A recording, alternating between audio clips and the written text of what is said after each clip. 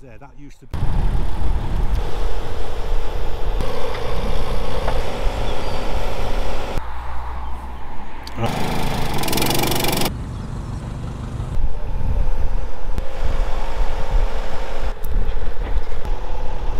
it caused. Right, this is the morning after the day, or the whole day, the night before. Down at Meadow Farm Marina uh, between Barrow and Sileby in Leicestershire. Uh, the video coming up will show you what's happened yesterday.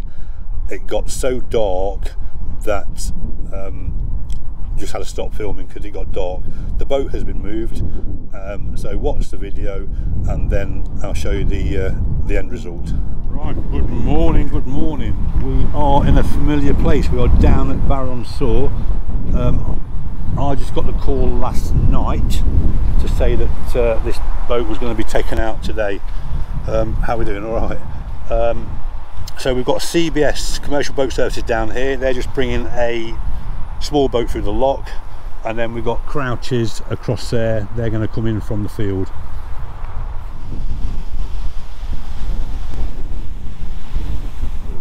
yeah so as I was saying I got the call last night um, they've got a slot to come down and do it so hopefully we're going to get this boat out today get it righted get it drained out. Here's the uh, crane coming across the field now from Crouches. Um, I did think they was coming down a lot lot earlier. I was told about 7 o'clock but um, it was pitch black at 7 o'clock so I couldn't see anyone coming down then. So we've got Crouches across there getting the crane ready and CBS Commercial Boat Services are just bringing theirs through the lock now uh, I'll just take this opportunity before we start to thank everyone for uh, donating on the GoFundMe page. That's really good ears. And uh, just a little shout out to um, some of the trolls, only one or two of them on the comments. Andy Cunningham, yes Andy. Um, when you put something on YouTube, a comment, and you just put a username, I see it as your proper name comes up, mate. So, you know, if, if you don't like what I'm doing, then don't watch, don't tune in, mate anyway that's enough for him anyway. That's enough for mention. Um, right so here's CBS coming through now. They've launched this boat from Meadow Farm which is uh, further down there about a mile and a half. Um, and that's what we're going to use to tow this boat up to Meadow Farm. I just want to mention as well that I have a, a super thanks button now on my videos. Um, and that's just in case anyone wants to say yeah thanks what I will say is anything raised from the super thanks will go to uh, a local charity in my town and it's the Rainbows Children's Hospice.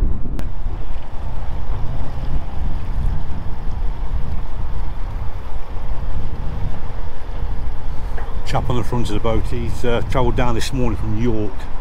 So they set off about five o'clock this morning.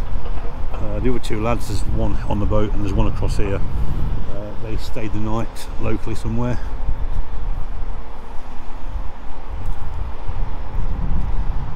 We'll see how far that crane can get down there towards the bank.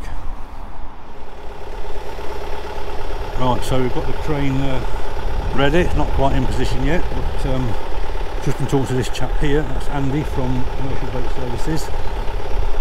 Um, what they're going to do is uh, set up. So they'll probably take um, a couple of hours to set up um, because they like to do things properly and if you look at uh, Commercial Boat Services website you'll see all the equipment they've got, all the jobs that they've uh, been on and you know that, they do do things properly.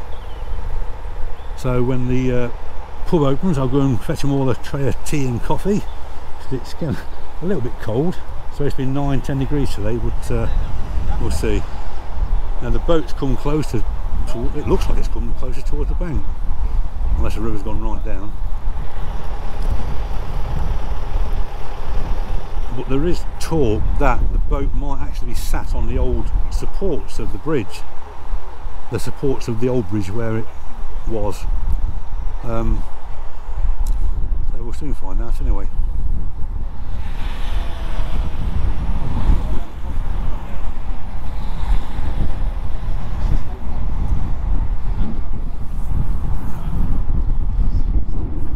so they're just attaching straps now. Interesting to see how they're going to do this.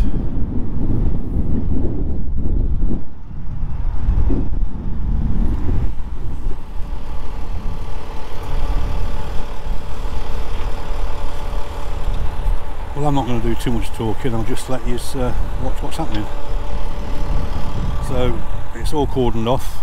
I've got permission to be inside the cordon. Case anyone's thinking, what's he doing there?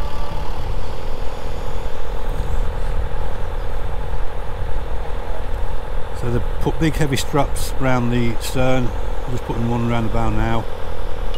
And then I don't know if we're going to lift out or if we're just going to try and just lift it up a touch so they can just start draining the water off. But talking to the chap this morning and he says uh, as they start to lift it should right itself so hopefully that's what will happen. A few people on the other side having a look. It's bound to create some attention. But I think this is what should have happened in the first place.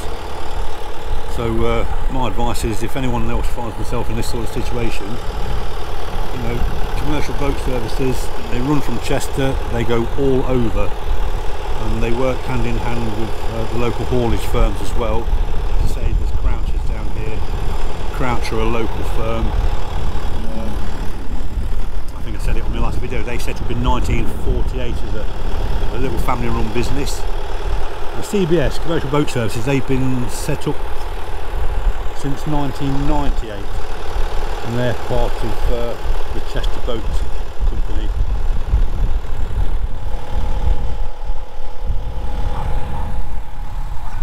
Peg number nine there, look. Looks a nice spot, doesn't it? Cast out in the middle there, get a few uh, whatever. I've seen someone down here the other week and uh, two lads fishing for pike. So just to recap then on uh, what happened here further upstream this is the backwater here um, the river comes up from here and goes off down joins the canal there and obviously you go that way to Leicester and Sileby and the south and all them sort of places I should say. Um, this boat was moored right up there about three o'clock in the morning. It broke free with its moorings as well. Um, apparently the way when the river's in flood they can normally determine which way the current's going but there's such a force of water coming down on that particular night that the water actually came a different direction and it went right behind the boat and just took it. And it come down here around the bend hit a boat down here as I say about three in the morning and just finished up on the bridge here. Um, people who've seen the previous videos will know what happened. The boat was upright. It rose up with the water. Water come down. Caught on the side of the bridge and there was a slight tilt on it. And then well we know what happened. Um, and that's why I set up the uh, GoFundMe page for it because uh, just you know I don't know the owner uh, but I just thought you know it's, it's someone's home I just set it up um, so thank you to everyone who's donated there um, raised about six and a half grand. I think this operation's costing uh, six thousand one hundred, something like that. Um, I don't think they've had to pay any VAT because it's classed as salvage work, so that helps. Um, and then I had a request. I'm going to put a link. There's another GoFundMe um, page uh, on there, on the GoFundMe website, and it's another boat up here that sank and it's, it's sort of half submerged and uh, the friend of the owner has asked me to just put the link on this video for them which I will do I appreciate and no time to hard I do really appreciate the people who donated um, so the owners you know as well the owners asked me this morning he says I need a way to try and thank these people I said well I'll, I'll just put it out on this video yeah, so at the moment you can see the crane here. Look, I thought it would be a bigger crane, but this has obviously got some lift on it. Uh, two two cables on it, two winches. Look, you see them here. One at one end, one at the other. There's a chap across there. Look, you can see him here. Litter picking. Apparently, this chap and his uh, friend come down every day around this area doing all the litter picking, keeping the village clean.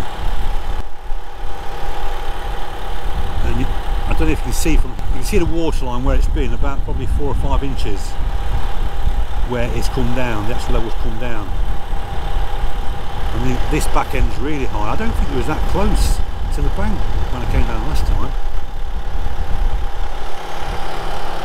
I think the uh, wires are attached now, so I'll move to the side. Right, so you can see the winch is turning now. We're just taking the slack up. you can see now where the strops are starting to uh, take hold.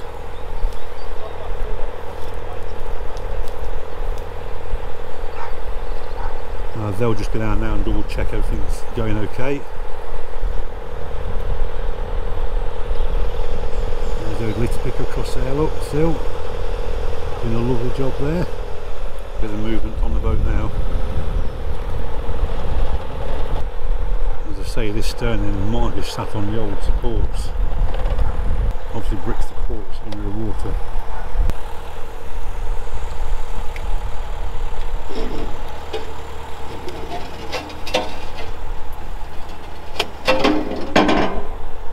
Yeah, it's definitely on the brick support because you can hear it.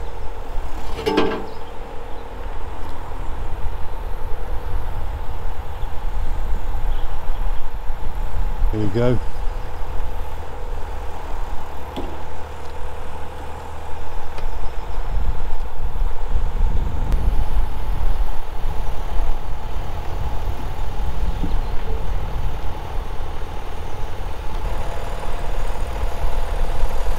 Just taking it nice and easy. Yeah, so the stern end is still caught on the bank.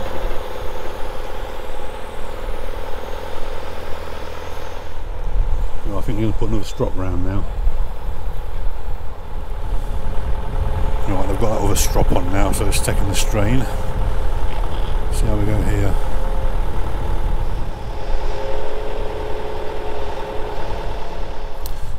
So as you can see, what they're doing now is putting another strop round because on the front of the boat, we think that some of the mooring is still attached. If you look from the other side, I'll try and get around there in a minute. The uh, there's a chain there that's really really tight. So we think part of the mooring is wedged on the bridge, and as they try and lift, it's not letting it go. So what they're going to do is put another strop further up here, further up here, and then take the front strop off, and then they should be ready to go then. But as I said, it's just it's minute by minute. you've just got to reevaluate all the time. I've just been talking to this chap here, the uh, dark woolly hat on. He's from Canal and River Trust, and he actually lives just down here on one of the boats. And um, he was saying that when boats come up and down this part of the river, they have to use this central arch. Now, normally on bridges, you'll find a blue arrow indicating that's the archway to use but the local council won't allow anything to be attached to this bridge because it's a listed building. It's been here since uh, you know the 1800s. Um, but he says in the archives there are some photos where you can see um, the old walkway for the horses. So if you look across there, there's that Armco. Now that Armco, before that was there, that used to be a wooden walkway. It was a towpath. And when the boats came down here, horse drawn they'd detach the horse obviously from the boat. They would walk the boat through. The horse would go up and over the bridge to the other side and then reattach and then carry on. So I never knew that. But quite a few people didn't know that either. What he says on this archway here this first one there's always boats getting grounded. They just come through there. And there's a chap in the water at the moment and he's just up to probably his hips and so it's not very deep at all. Probably two and a half three foot there he is just down there. So he's actually stood on the river bed and this is attaching that strop now to the middle. Yeah that's interesting. That's part of the old towpath where they walked the uh, the boat through and the horses went over the road and reattached on the other side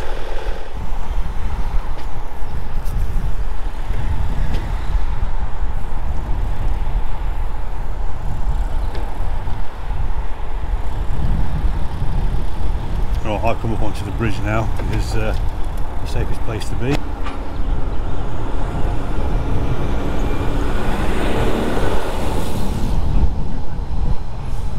Yeah, it's made it quite awkward with the part of the mooring stuck to the front of the boat. Whether that's catching on the bridge or not, we're not sure. Right, well I've repositioned the winch, try and get it at a different angle.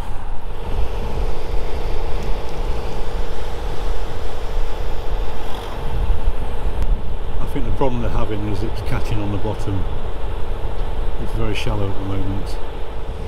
So they'll do a little bit of winching, then they'll readjust, and then winch again, and then get it back on its, uh, its right way up.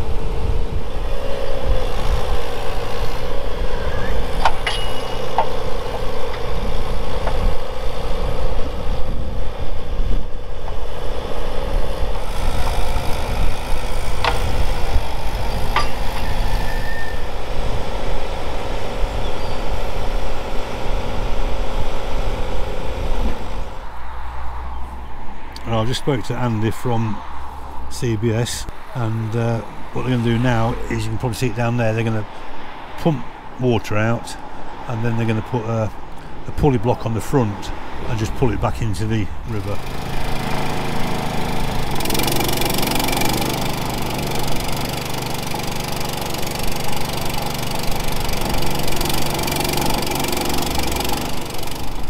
Right, I'll see you around then.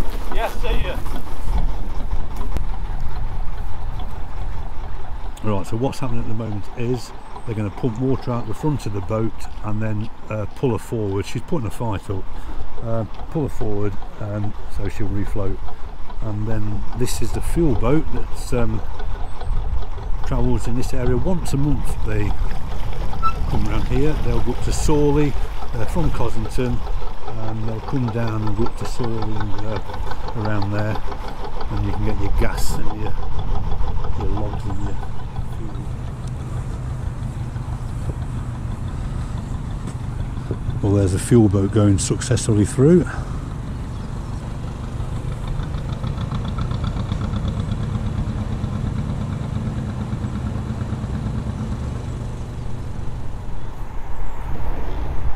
So they're just going to move that winch now from that post and it looks like they're going to put it around this tree which is more substantial.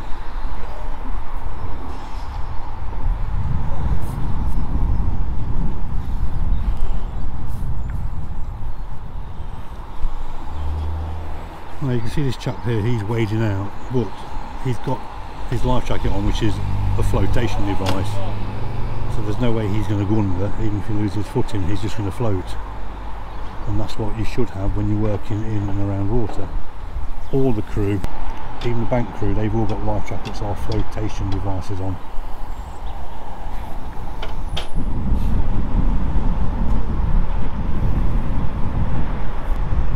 Take it straight now, look at it.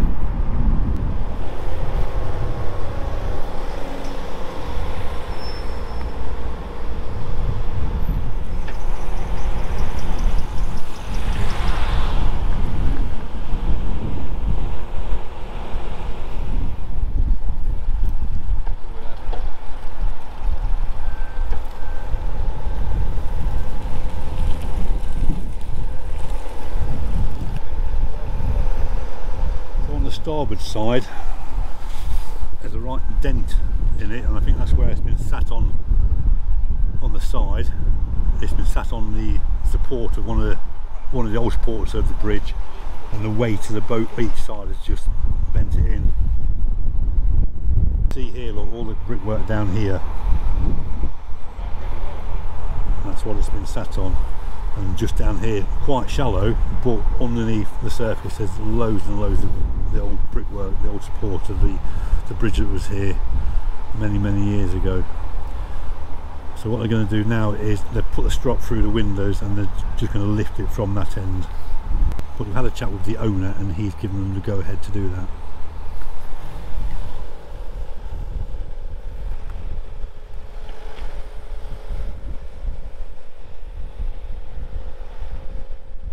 actually an underwater obstruction that um, midships is caught on.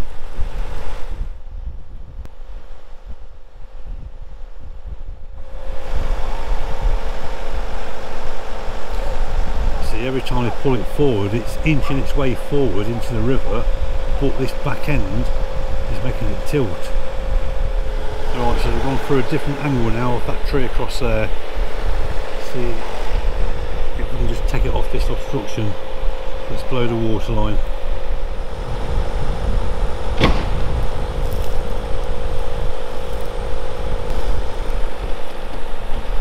That chap's been in and out of the water all morning, it's freezing.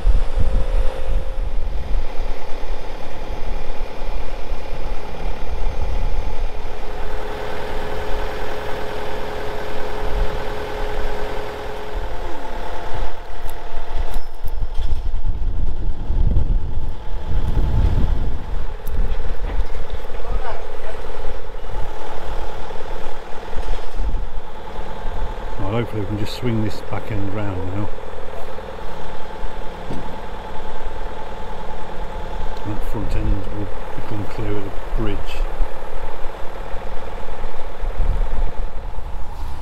Yeah, so that brickwork there, that's been the problem, and that goes right the way along. Um, you've got the one there, you've got the one in the middle, and you've got the one on the far side. And the middle's been resting on the one obviously in the middle. So had to drag the stern end round. It's caught slightly there, but what they're going to do now is reposition this winch so they can do a straight pull further across there and get the stern end round and then hopefully she should be floating.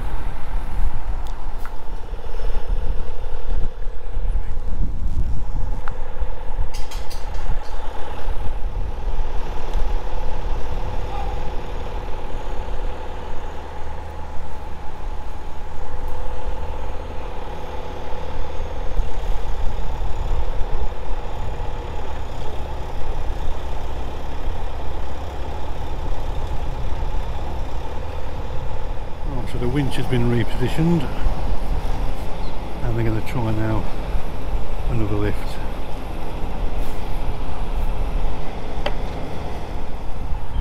Which should hopefully free itself from that end.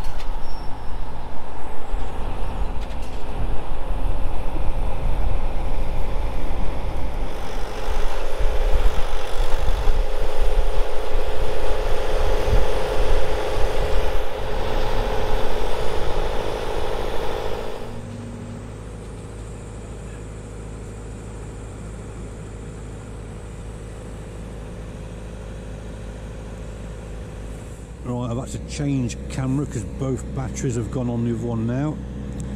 So I'm on the uh, original camera that I had before. It's getting very dark. Hopefully we're going to have this righted soon. But again, I'll just repeat what I said before. You cannot just come down, tie something to it and just try and winch it straight off because it's not going to work. They've had to reposition this winch and just try different methods just taking the strain up now. Got repositioned a couple of minutes ago. And I'm just trying to swing that back end out now in uh, to the river where it's deeper water. Down there, you can already see that now because it's dark. But down there's really, really shallow, probably nine inches, something like that. Right, so here we are, back at Meadow Farm, and here's the boat now. So we got to about half past five time. There was problems getting the boat off the shallow part of the river. As I said in the video you just watched, it was on the uh, stone foundations. Eventually got it sorted out about 7 o'clock at night and they've towed it from Barrow, which is right down there, up this way through a lock and it's on this pontoon, it's on this jetty now. Um, so I spoke to Mick and he said to have a look on board and show you what devastation happens if you get caught in floods with your boat. Right, so we're at the stern end, obviously. I'm just going to look in there. So when it went, everything, everything on the port side fell down to the starboard side. It's listed now because there is water underneath the floorboards in the hull. There's neighbours around here have all rallied round, brought a portable pump down and that's been pumping water out and it has risen quite a bit. And we're just going to go on board now and have a quick look. So these are all the strops that were uh, used yesterday by CBS, and that's the devastation that it caused. Everything from that side just went that side. All the soft furnishings, um, cushions, pillows, blankets, mattresses, they've all been sat in water, and that's what's adding to the weight, and it's all on this side. While we're down here, we'll have a quick look around, not walking around, but just a quick uh, scan around. That's all Meadowfarm Marina, all here, all around here. These are some of the new chalets that they've had built. They look lovely, don't they? All up there. That used to be all um, touring caravans some years ago. But uh, yeah, anyway, thanks for watching the video. If you'd like subscribe, please do. Um, don't forget, I've got that Super Thanks button if you want to use that. As I said, all the money from Super Thanks will be going to the Children's Rainbow Hospice in Loughborough. Um, yeah, and thanks to everyone who has donated through GoFundMe. And then just a big shout out to all the lads from uh, Crouches and everybody from Commercial Boat Services. They've worked really hard, really well, really long hours. Some of them lads have put in a 14 hour shift and then they're travelling on top of that. So that's it for now, and um, thanks for watching, and we'll see you soon. Thanks again. Bye bye.